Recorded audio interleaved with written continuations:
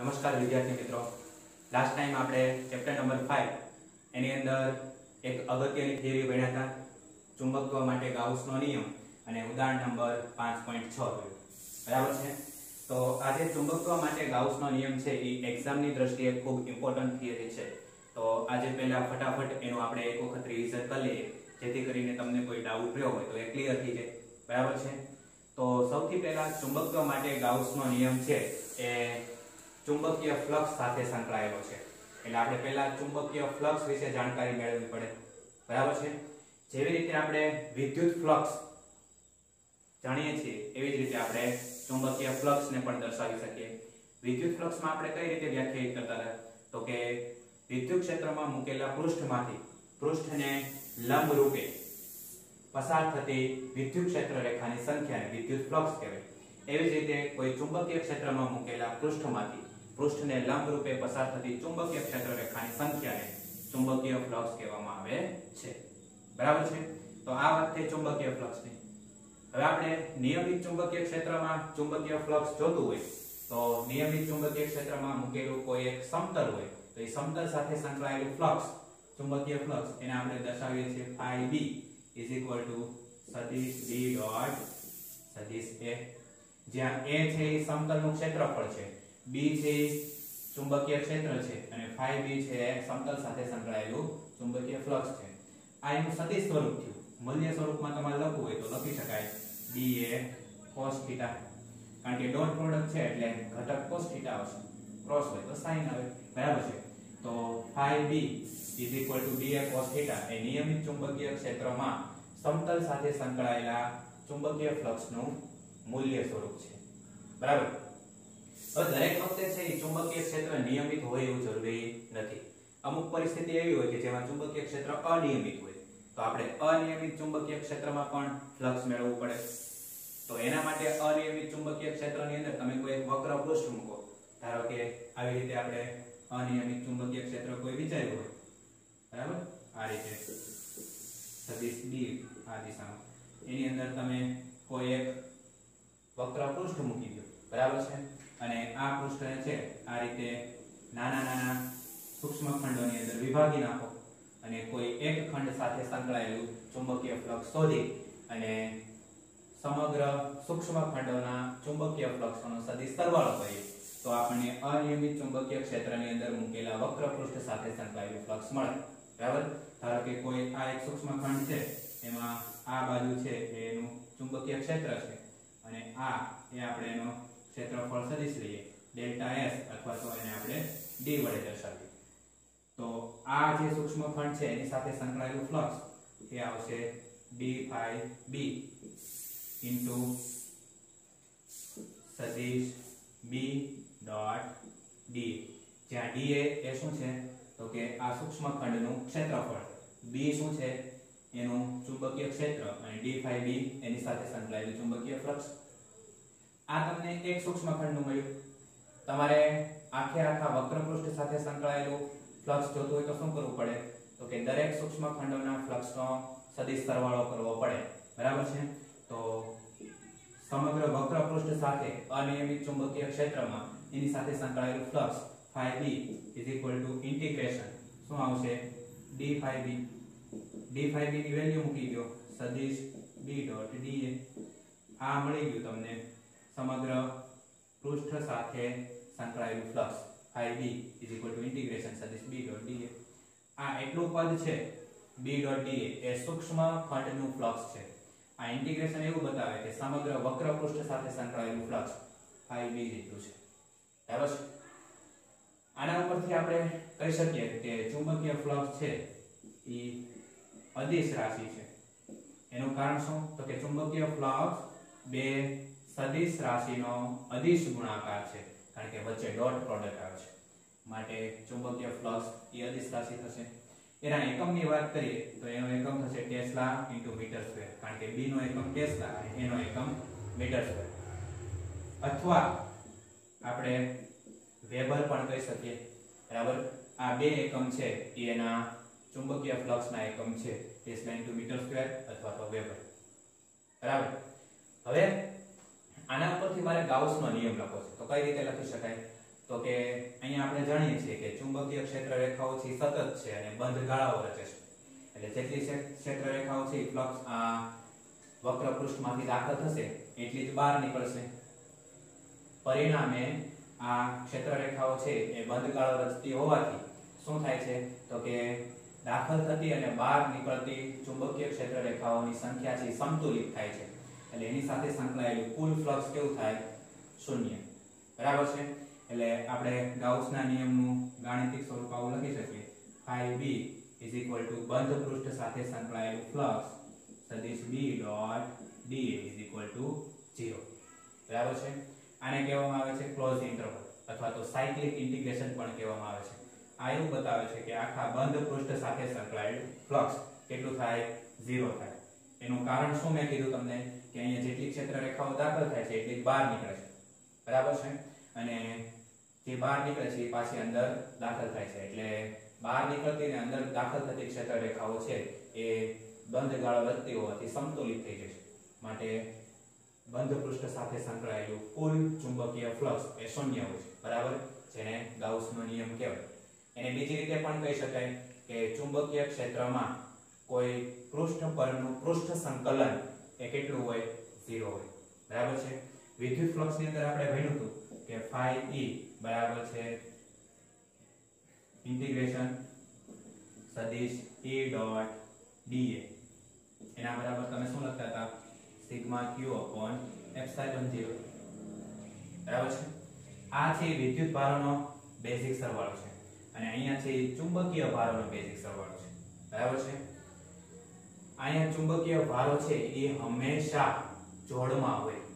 અહીંયા વિદ્યુત ભારો છે એકાકી વિદ્યુત ભાર અસ્તિત્વ ધરાવે. એકલો પ્લસ q અને એકલો માઇનસ q અસ્તિત્વ ધરાવે. જ્યારે અહીંયા એકલો n અને s અસ્તિત્વ ધરાવતા નથી. માટે અહીંયા n અને s છે હંમેશા જોડમાં હોય. એટલે જેટલા n હોય એટલા s હોય. માટે ચુંબકીય ભારોનો બેઝિક સરવાળો છે એ 0 થઈ ગયો. બરાબર? જ્યારે અહીંયા આ સિગ્મા q છે એ કોઈ એક વિદ્યુત ભારનો સરવાળો હશે. બરાબર છે? એટલે આ બંને અલગ પડે છે, એનું કારણ આપણે બે કીધા હતા. એક તો ચુંબકીય ક્ષેત્ર રેખાઓ બંધ ગાળો રચે છે, જ્યારે વિદ્યુત ક્ષેત્ર રેખાઓ બંધ ગાળો રચતી નથી. અને એકલા ચુંબક ચુંબકીય એકાકી ધ્રુવ અસ્તિત્વ ધરાવતા નથી, જ્યારે એકલા વિદ્યુત ધ્રુવ છે અસ્તિત્વ ધરાવે છે. બરાબર છે? તો આ હતો ચુંબકત્વ માટે ગાઉસનો નિયમ. ખાસ તૈયાર કરી નાખજો. હવે મિત્રો, આપણે આજના લેક્ચરની અંદર ઉદાહરણ નંબર પાંચ પોઈન્ટ સાત જોઈએ. જેની અંદર તમને પાંચ પ્રશ્નો આપેલા છે, જેના આપણે જવાબ આપવાના છે. તો ટેક્સ્ટ બુક તમારી પાસે ખુલ્લી રાખજો અને એની અંદર જોજો કે પ્રશ્ન શું આપેલા છે. અહીંથી હું પ્રશ્ન વાંચું છું, પછી આપણે એનો જવાબ આપીએ. તો ઉદાહરણ નંબર પાંચ પોઈન્ટ સાત, એની અંદર પ્રશ્ન નંબર એક. પ્રશ્ન એવો છે કે ચુંબકીય ક્ષેત્ર રેખાઓ વડે દર્શાવેલી દિશામાં ચુંબકિત કરેલ સોય ગોઠવાય છે. શું ચુંબકીય ક્ષેત્ર રેખાઓ ગતિ કરતા વિદ્યુત ભારો માટે દરેક બિંદુએ ચુંબકીય બળ રેખાઓ દર્શાવે છે? તમને અહીંયા પ્રશ્ન નંબર એ ની અંદર શું કીધું છે? કે ચુંબકીય ક્ષેત્ર રેખાઓની દિશા, ધારો કે આ બાજુ ચુંબકીય ક્ષેત્ર રેખાઓ છે અને એની દિશા પણ એ જ છે. તો ચુંબકીય ક્ષેત્ર રેખાઓની દિશામાં એક ચુંબકિત કરેલી સોય ગોઠવાય છે. તો પ્રશ્ન એવો છે કે શું ચુંબકીય ક્ષેત્ર રેખાઓ ગતિ કરતા વિદ્યુત ભાર માટે દરેક બિંદુએ ચુંબકીય બળ રેખાઓ દર્શાવશે? તો એના જવાબમાં આવશે ના. પ્રશ્ન એ એનો જવાબ શું આવશે? ના. ચુંબકીય ક્ષેત્ર રેખાઓ ગતિ કરતા વિદ્યુત ભાર માટે દરેક બિંદુએ ચુંબકીય બળ રેખાઓ દર્શાવશે? નહીં. બરાબર? એનું કારણ શું છે? તો કે ચુંબકીય બળ હંમેશા ચુંબકીય ક્ષેત્રને લંબ રૂપે હોય છે. ચુંબકીય બળ હંમેશા ચુંબકીય ક્ષેત્રને લંબ રૂપે હોય છે. અને આગળના ચેપ્ટરમાં તમે ભણી ગયા છો કે ચુંબકીય બળ સદિશ એમ બરાબર ક્યુ કૌંસમાં સદિશ વી ક્રોસ સદિશ બી. આ ચુંબકીય બળ માટેનું સૂત્ર તમે ભણી ગયા છો. તો આના ઉપરથી આપણે કહી શકીએ કે ચુંબકીય બળ એમ ઇઝ પરપેન્ડિક્યુલર સદિશ બી. ચુંબકીય બળ ચુંબકીય ક્ષેત્રને લંબ રૂપે હોય છે. બરાબર? તેથી ચુંબકીય ક્ષેત્ર રેખાઓને ચુંબકીય બળ રેખાઓ કેળવી ભૂલ ભરેલું છે. બરાબર છે? ચુંબકીય ક્ષેત્ર રેખાઓને ચુંબકીય બળ રેખાઓ ભૂલ રેખા ભૂલ ભરેલું છે. એનું કારણ શું? તો કે ચુંબકીય બળ એ હંમેશા ચુંબકીય ક્ષેત્રને લંબરૂપે હોય છે. તેથી આપણે ચુંબકીય ક્ષેત્ર રેખાઓને ગતિ કરતા વિદ્યુતભાર માટે દરેક બિંદુએ ચુંબકીય બળ રેખાઓ કહી શકીએ નહીં. તમે એમ કહી શકો કે વિદ્યુત ક્ષેત્ર રેખાઓ એ વિદ્યુત બળ રેખાઓ દર્શાવે છે. પણ ચુંબકીય ક્ષેત્ર રેખાઓ ગતિ કરતા વિદ્યુતભાર માટે દરેક બિંદુએ ચુંબકીય બળ રેખાઓ દર્શાવશે નહીં. એનું આપણે કારણ કીધું કે ચુંબકીય બળ હંમેશા ચુંબકીય ક્ષેત્રને લંબરૂપે હોય છે. Fm is perpendicular B. બરાબર છે? તેથી ચુંબકીય ક્ષેત્ર રેખાઓને ચુંબકીય બળ રેખાઓ કહેવી ભૂલ કરેલી છે. બરાબર? ત્યાર પછી પ્રશ્ન બી આ થઈ ગયો પ્રશ્ન એનો આન્સર બરાબર? પ્રશ્ન નંબર 2 જુઓ. એમાં તમને કીધું છે કે ટોરોઇડના ગર્ભ ભાગમાં ચુંબકીય ક્ષેત્ર રેખાઓ સંપૂર્ણતઃ સમાયેલી હોય છે. બરાબર છે? પરંતુ સીધા સોલેનોઇડમાં નહીં. શા માટે? પ્રશ્ન તમને શું કર્યો છે બી? કે સોલેનોઇડ છે ટોરોઇડ એના ગર્ભ ભાગમાં ચુંબકીય ક્ષેત્ર રેખાઓ સંપૂર્ણતઃ સમાયેલી હોય છે. પણ સોલેનોઇડમાં આવું નથી. આવું શા માટે? એનો આપણે પહેલા જવાબ આપીએ અને પછી સમજીએ. તો જવાબ બી એમ આવશે કે જો સોલેનોઇડમાં સીધી ક્ષેત્ર રેખાઓ તેના છેડાના અંદરના ભાગમાં. સમાયેલી હોત તો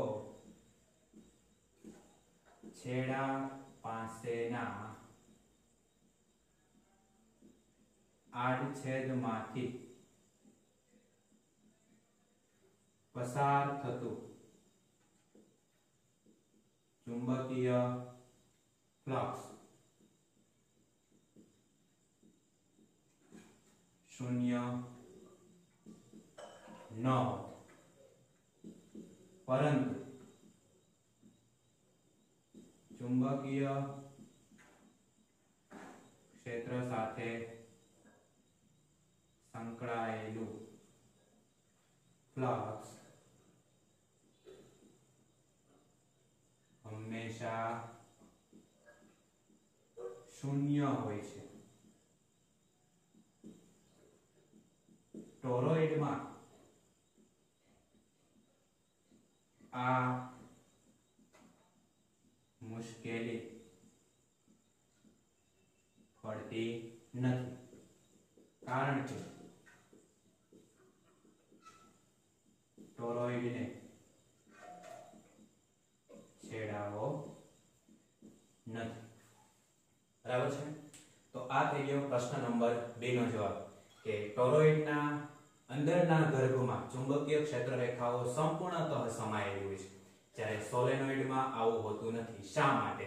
તો એનો જવાબ છે કે જો સોલેનોઇડમાં સીધી ક્ષેત્ર રેખાઓ તેના છેડાના અંદરના ભાગમાં સમાયેલી હોત, તો છેડા પાસેના આડછેદમાંથી પસાર થતું ચુંબકીય ફ્લક્સ એ શૂન્ય ન હોત. પરંતુ ચુંબકીય ક્ષેત્ર સાથે સંકળાયેલું ફ્લક્સ હંમેશા કેવું હોય? શૂન્ય હોય છે. બરાબર છે? તેથી સોલેનોઇડમાં ચુંબકીય ક્ષેત્ર રેખાઓ છે, એના અંદરના વિસ્તારમાં સમાયેલી હોતી નથી. જ્યારે ટોરોઇડમાં છે, આ મુશ્કેલી પડતી નથી. કારણ કે ટોરોઇડ છે, એની અંદર ચુંબકીય ક્ષેત્ર રેખાઓ સંપૂર્ણતઃ સમાયેલી હોય છે. બરાબર છે? કારણ કે એને છેડાવો છે નહીં. તો આ જે જવાબ છે, એને આપણે વિસ્તારથી સમજીએ. ધારો કે આપણી પાસે કોઈ આવું એક ટૂંકી લંબાઈનું સોલેનોઇડ છે. બરાબર? આ જવાબ પ્રમાણે જો સોલેનોઇડની ક્ષેત્ર રેખાઓ એ માત્ર એના છેડાઓના અંદરના વિસ્તારમાં જ સમાયેલી હોય, આવી રીતે. બરાબર છે? તો છેડા પાસેનું કોઈ એક પૃષ્ઠ વિચારો. તો આ જે પૃષ્ઠ છે, એમાંથી પસાર થતી ક્ષેત્ર રેખાઓની સંખ્યા જેટલી ક્ષેત્ર રેખાઓ એમાંથી પસાર થાય છે, એટલી બહાર નીકળત નહીં. બરાબર છે? બીજું તમે એવું વિચારી શકો કે આની સાથે સંકળાયેલું કુલ ફ્લક્સ શૂન્ય ન હોય. એનું કારણ શું? તો કે અહીંથી ક્ષેત્ર રેખાઓ બહાર નીકળવાની જ નથી. અહીંથી ક્ષેત્ર રેખાઓ દાખલ જ નથી થવાની. બરાબર? કારણ કે આપણે એવું વિચાર્યું છે કે સોલેનોઇડના અંદરના ભાગમાં જ ક્ષેત્ર રેખાઓ છે સમાયેલી હોય, તો એના છેડાઓ સાથે અથવા તો એના છેડાઓના આડછેદ પાસે ચુંબકીય ફ્લક્સ છે એ શૂન્ય ન હોય. બરાબર છે? આમાં ક્ષેત્ર રેખાઓ દાખલ થાય પણ બહાર નીકળે નહીં. આમાં ક્ષેત્ર રેખાઓ છે દાખલ થાય પણ સોરી બહાર નીકળે પણ દાખલ થાય નહીં.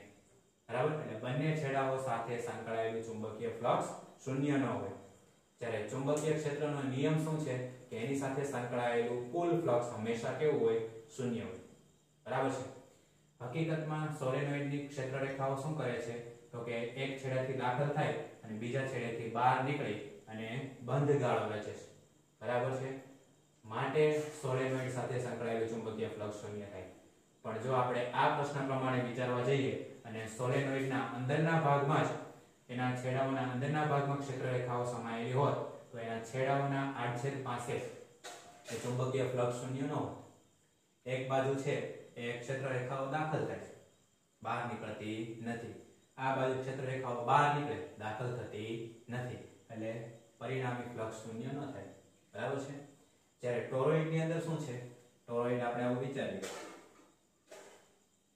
તો આ જે ટોરોઇડ છે, બરાબર છે? એમાંથી વિદ્યુત પ્રવાહ પસાર કરો તો આવી રીતે ચુંબકીય ક્ષેત્ર એના અંદરના ભાગમાં નિયમિત ચુંબકીય ક્ષેત્ર ઉત્પન્ન થાય. કોઈ એક જગ્યાએ તમે આવું એક પૃષ્ઠ વિચારો, તો એમાં જેટલી ક્ષેત્રરેખાઓ દાખલ થાય એટલી બહાર નીકળે. બરાબર?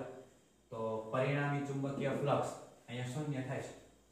એટલે અંદરના ભાગમાં છે એ સોલેન ટોરોઇડની અંદર ક્ષેત્રરેખાઓ સંપૂર્ણતઃ સમાયેલી હોય જ્યારે સોલેનોઇડમાં આવું શક્ય નથી.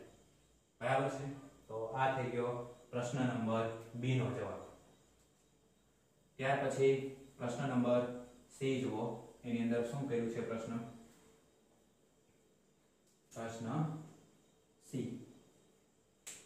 એમાં તમને કીધું છે કે જો ચુંબકીય એકી ધ્રુવીઓ અસ્તિત્વ ધરાવતી હોત, તો ચુંબકત્વ માટેના ગોસના નિયમમાં શું ફરક પડત? બરાબર? જો ચુંબકીય એકી ધ્રુવીઓ અસ્તિત્વ ધરાવતી હોત, તો ચુંબકત્વ માટેના ગાઉસના નિયમની અંદર શું ફરક પડે? હકીકત તો આપણે જાણીએ છીએ. કે ચુંબકીય એકી ધ્રુવ અસ્તિત્વ ધરાવતી નથી. પણ જો ધરાવતી હોત, તો ગાઉસના નિયમની અંદર શું ફરક પડે એ આપણે કહેવાનું છે. તો પહેલા આપણે ગાઉસનો જે સાચો નિયમ છે એ લખીએ કે ચુંબકીય ક્ષેત્રમાં, બરાબર? કોઈ બંધ પૃષ્ઠ સાથે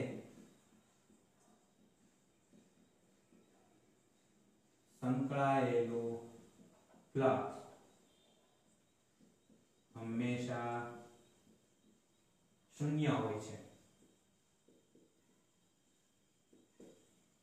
આ ગાઉસનો સાચો નિયમ છે કે કોઈ બંધ પૃષ્ઠ સાથે સંકળાયેલું ફ્લક્સ હંમેશા શૂન્ય હોય છે.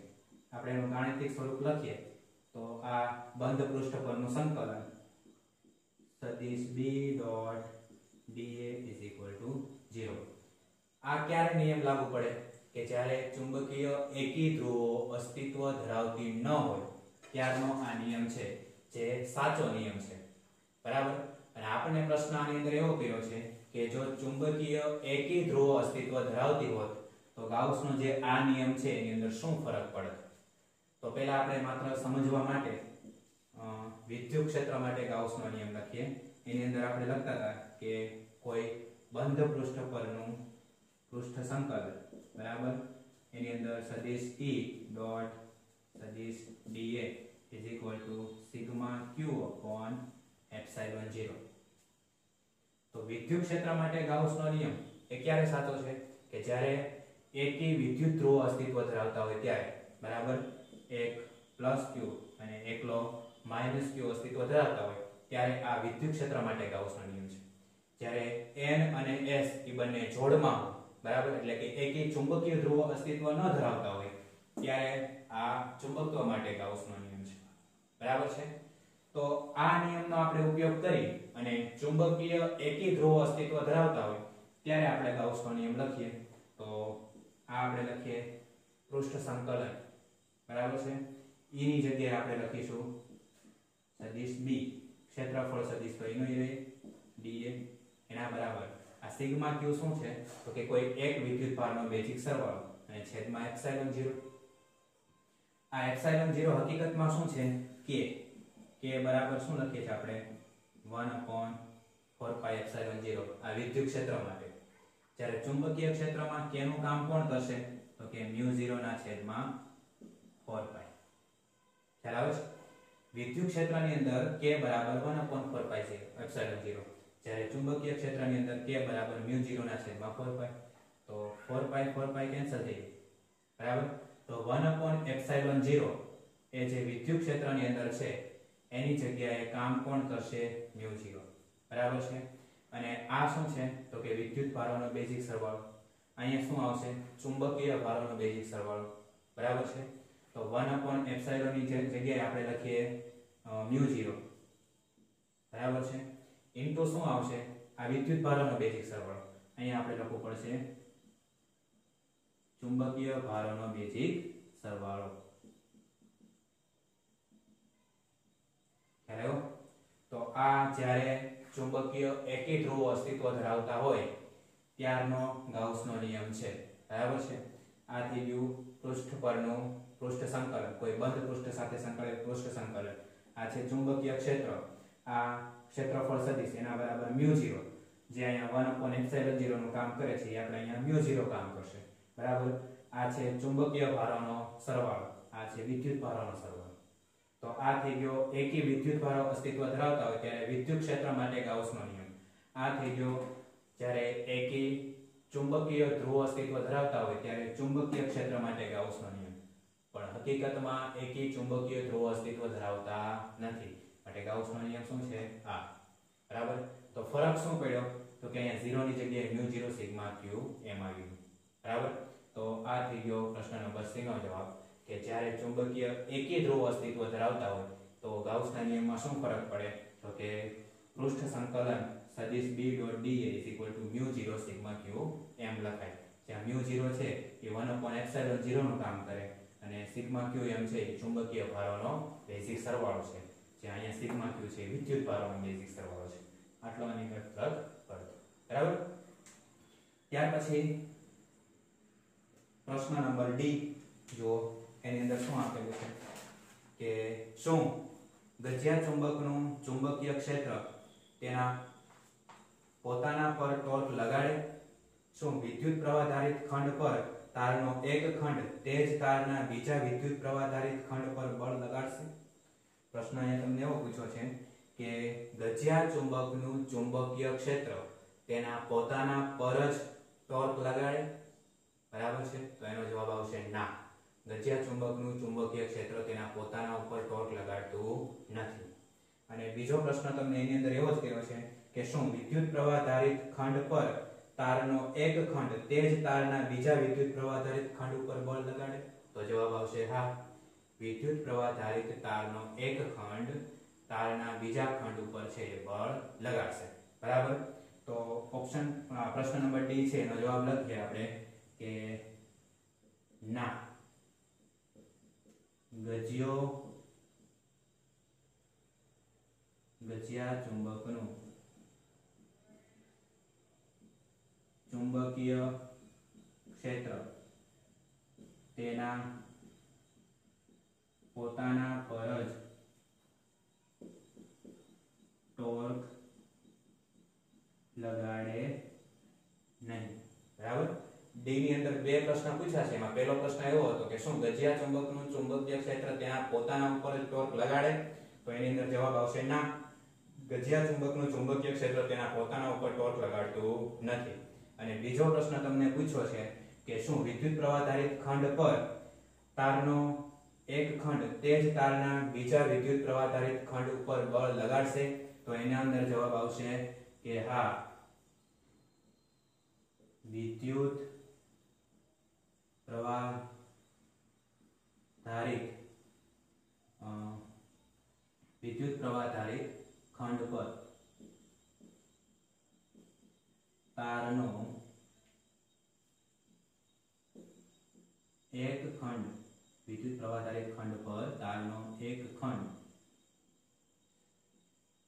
બીજા સોરી તે તારના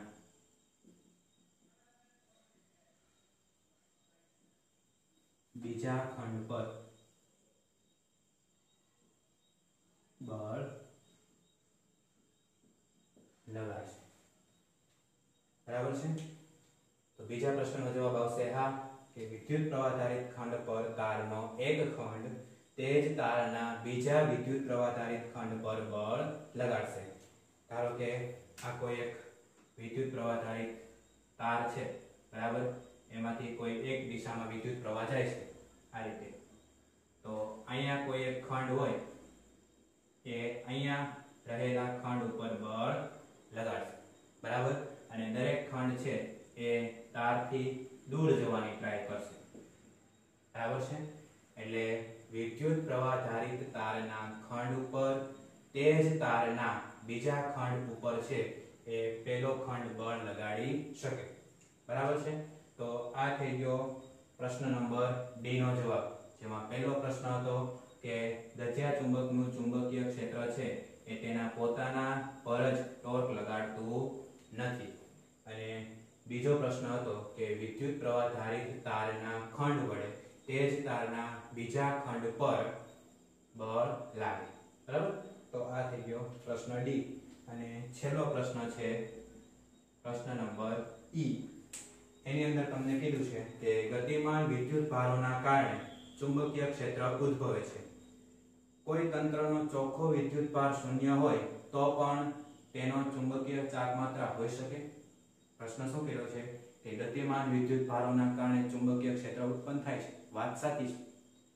પણ કોઈ તંત્ર છે, એનો ચોખ્ખો વિદ્યુત ભાર શૂન્ય હોય, તો પણ એને ચુંબકીય ચાકમાત્રા હોઈ શકે? તો હા, હોઈ શકે. બરાબર છે? આગળ આપણે એવા કેટલાક પદાર્થો વિશે આ જ ચેપ્ટરની અંદર ભણવાના છીએ. બરાબર છે? પેરામેગ્નેટિક પદાર્થો. બરાબર છે? પેરામેગ્નેટિક પદાર્થો છે, એનો ચોખ્ખો વિદ્યુત ભાર શૂન્ય છે. તેમ છતાં એ ચુંબકીય ચાક માત્રા ધરાવે છે. તો અહીંયા પ્રશ્ન તમને એ જ પૂછ્યો છે કે ગતિમાન વિદ્યુત ભારો વડે ચુંબકીય ક્ષેત્ર ઉત્પન્ન થાય છે? બરાબર છે. તો શું કોઈ કોઈ તંત્ર છે એનો ચોખ્ખો વિદ્યુત ભાર શૂન્ય હોય તો પણ એ ચુંબકીય ચાક માત્રા ધરાવી શકે? તો હા એ ધરાવી શકે. બરાબર છે. એના વિશે આપણે ચુંબકીય પદાર્થો, જુદા જુદા ચુંબકીય દ્રવ્યો વિશે અભ્યાસ કરશું આ ચેપ્ટરનો એને સમાન ચુંબકીયમાં ક્ષેત્રમાં મૂકશું. અસમાન ચુંબકીય ક્ષેત્રમાં મૂકશું. સમાન ચુંબકીય ક્ષેત્ર, અસમાન ચુંબકીય ક્ષેત્રની અંદર એની આપણે વર્તુણક જોઈશું. બરાબર છે? એના ગુણધર્મો જોઈશું. તો પેરામેગ્નેટિક પદાર્થ એક એવો પદાર્થ છે કે જેનો પરનો ચોખ્ખો વિદ્યુત ભાર છે શૂન્ય છે. તેમ છતાં એ ચુંબકીય ચાર્જ માત્રા ધરાવે છે. બરાબર? તો પ્રશ્ન નંબર એ ની અંદર આપણે જવાબ લખશું કે પેરામેગ્નેટિક પદાર્થો, બરાબર છે? એના પરનો ચોખ્ખો વિદ્યુત ભાર શૂન્ય હોવા છતાં એ ચુંબકીય ચાક માત્રા ધરાવી શકે. બરાબર? તો આ થઈ ગયા આપણા પાંચ પ્રશ્નો. એ બી સી ડી આ પાંચે પાંચ પ્રશ્નો છે. એના જવાબ એમાંથી ચાર નામ મેં અહીંયા લખી દીધા છે. પાંચમાનો તમે ટેક્સ્ટ બુકની અંદર જોઈ લેજો. કારણ કે આપણે આ એના વિશે જે ભણવાનું બાકી છે. પેરામેગ્નેટિક પદાર્થો આપણે ભણી લેશું. ત્યારે તમને વધારે ખ્યાલ આવશે. પણ અત્યારે તમારે જવાબ લખો હોય તો લખી નાખજો કે પેરામેગ્નેટિક પદાર્થો છે. એના પરનો ચોખ્ખો વિદ્યુત ભાર શૂન્ય હોવા છતાં એ ચુંબકીય ચાક માત્રા ધરાવે છે. ચાલો આપણે લખી નાખીએ કે પેરા મેગ્નેટિક પદાર્થો પરનો ચોખ્ખો વિદ્યુત શૂન્ય હોવા છતાં તે ચુંબકીય ચાક માત્રા ધરાવી શકે. બરાબર? એટલે આ થઈ ગયા પાંચ પ્રશ્નોના જવાબ. જે હતું તમારું ઉદાહરણ નંબર પાંચ પોઈન્ટ સાત. બરાબર? તો આજે આપણે આ ઉદાહરણ પાંચ પોઈન્ટ સાત પૂરતું સીમિત રાખીએ છીએ. બરાબર છે? નેક્સ્ટ ટાઈમ આપણે એક બીજો ટોપિક જોઈશું. પૃથ્વીનું ચુંબકત્વ. બરાબર છે? તો આજે આ એક ઉદાહરણ નંબર પાંચ પોઈન્ટ સાત આપણે ભણ્યા. વ્યવસ્થિત તૈયાર કરી નાખો અને જ્યાં ક્યાંય તમને સમજ ન પડે ત્યાં મને પ્રશ્ન પૂછી દેજો બરાબર છે?